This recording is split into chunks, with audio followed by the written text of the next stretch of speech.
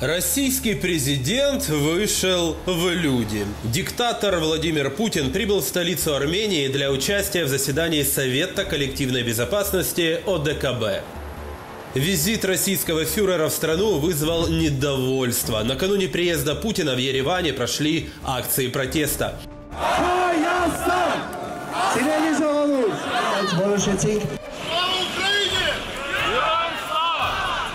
Участники акции выступали против визита российского диктатора в Ереван и за выход Армении из организации договора о коллективной безопасности.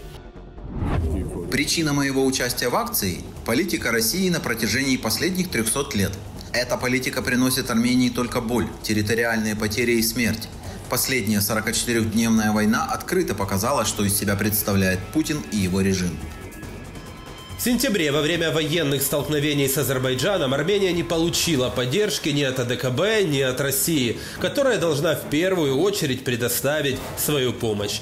Армения, член ОДКБ, как раз просила Путина о военной поддержке, то вот как раз импотентность этой организации проявилась в том, что Кремль не смог помочь своему союзнику. Не смог почему? Потому что есть противовес Турции, да, и Путин пытается наладить э, диалог с Эрдоганом, который является последним э, для него мостиком в цивилизованным миром.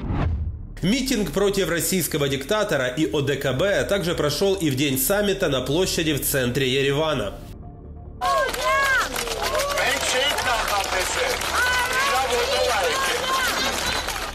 Несмотря на все это, встреча в Армении состоялась согласно графика. Ранее в Ереван прибыл и глава МИД России Сергей Лавров, который сумел сразу же отметиться. Ваше дело фотографировать, а не указывать.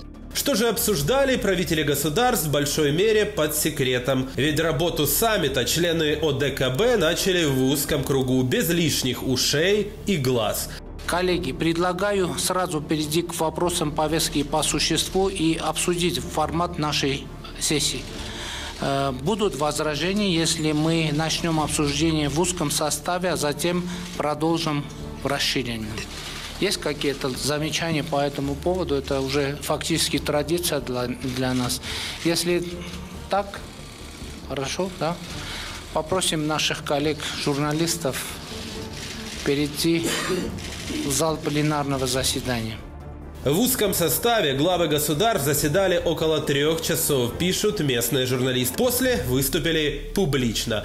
Все-таки для нас очевидно, что совместная работа в рамках УДКБ приносит видимую практическую отдачу, помогает обеспечивать защиту национальных интересов, суверенитета и независимости наших стран. На сегодня Путин пытается продемонстрировать, что он еще что-то решает в мире, что еще есть э, лидеры политические, которые его слушают, и собрал вокруг себя вот несколько представителей э, стран постсоветского пространства, которые в той или иной мере, в первую очередь экономически, зависят от России. Но на самом деле вот это объединение, оно не играет никакой роли.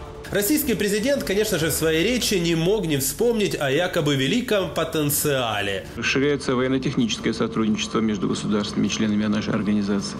В деятельности на этом направлении энергично участвует созданная по инициативе России Межгосударственная военно-экономическая комиссия ОДКБ. Это назвать бутафорией, потому что никакого военно-технического потенциала сегодня ни в России, ни в странах ОДКБ не существует.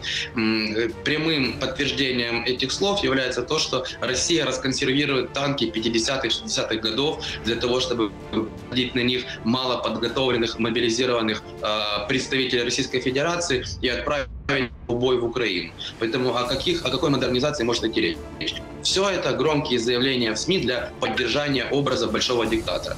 Как говорится, обо всем, да ни о чем. Как обычно, именно таким было публичное выступление Путина.